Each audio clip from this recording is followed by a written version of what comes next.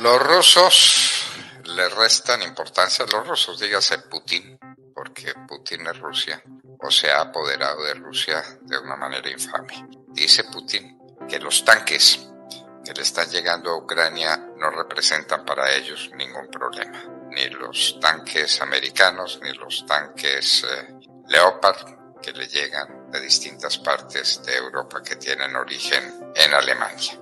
No vale la pena.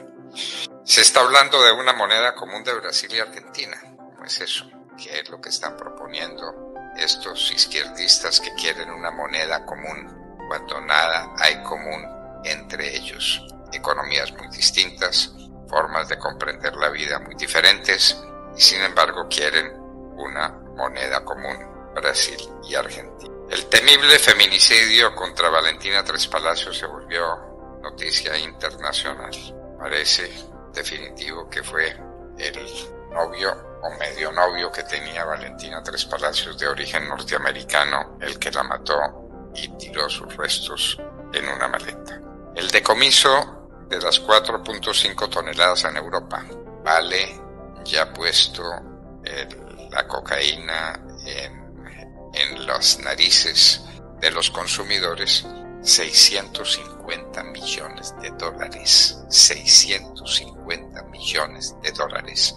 Se cumple este mes de enero con más de 11 toneladas de decomiso para un valor muy eh, sustantivo superior a los mil millones de dólares. ¿Qué pasará a los policías que mataron a Nichols? Les esperan momentos muy amargos a esos policías que están siendo juzgados en este momento en los Estados Unidos. ¿Por qué lo mataron? Una simple infracción de tránsito y caen sobre él. No ha habido grandes manifestaciones en los Estados Unidos porque los policías agresores, lo mismo que el agresido, son de raza negra. Entonces no ha pasado mayor cosa. Esperamos que no trascienda este hecho y que no se convierta en un motivo de discordia en los Estados Unidos. Una joven rusa tendrá años de cárcel por criticar la guerra en Ucrania. Ese es el precio de la crítica libre. Ese es el precio de opinar en Rusia. Años de cárcel. Hubo otro tiroteo en Jerusalén. Después de lo que les contábamos ayer, de los siete muertos, en Jerusalén hubo otro tiroteo con dos heridos. Una circunstancia curiosa, pero explicable.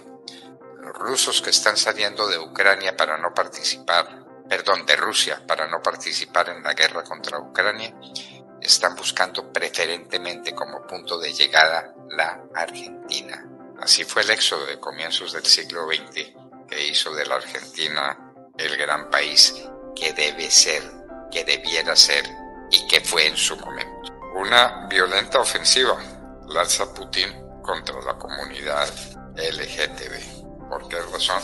Pues porque Putin es...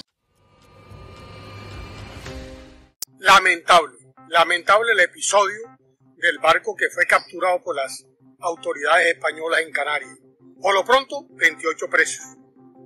Esos 28 presos claramente tendrán que decir quién fue el que realmente introdujo en el barco 4,5 toneladas de cocaína. Pero una advertencia al país. El país está lleno de cocaína.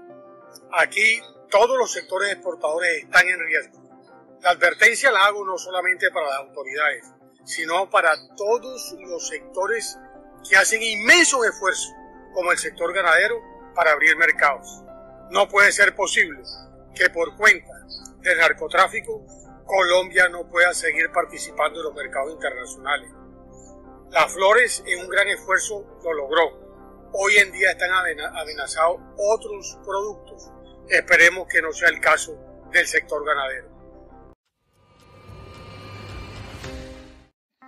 Estoy enormemente preocupado y es por las declaraciones de la viceministra de Minas y Energía, la doctora Belisa Ruiz. La doctora Belisa, quien era la viceministra de la actual ministra de Minas, Irene Vélez, demuestra o evidencia lo que por muchos meses hemos venido denunciando, que es la falta de capacidad técnica jurídica, la falta de conocimiento del sector, la incompetencia de la actual ministra de Minas, Irene Vélez. Su ex viceministra denuncia cómo a través de dibujos le tenía que explicar tecnicismos, cómo la ministra le ha mentido reiteradamente a los colombianos por no conocer de este importante sector. Nosotros dependemos en gran medida del sector de hidrocarburos. No podemos poner en riesgo nuestra economía ni nuestra autosuficiencia energética por un populismo. Todos estamos de acuerdo con las energías limpias, las energías renovables, la transición energética, sí ministra, pero responsable, seria, objetiva y con un componente netamente técnico. Ministra, su incompetencia nos ha mentido reiteradamente y su ex viceministra la dejó en evidencia, presentando declaraciones e informes falsos que carecen de un sustento técnico de nuestra autosuficiencia. Nosotros no podemos permitir esto y por eso quiero hacerle un llamado al gobierno del presidente Gustavo Petro a que tome cartas en el asunto y no ponga en riesgo nuestra seguridad energética. Presidente, es una irresponsabilidad tener a la señora Irene Vélez en la cartera, que no se critica por su condición de ser mujer, porque muchas mujeres han desempeñado esta cartera y lo han hecho en debida forma y en otras carteras ministeriales lo han hecho bien también. Pero tenemos que ser técnicos, serios y objetivos y sobre todo responsables con nuestra economía y con el país.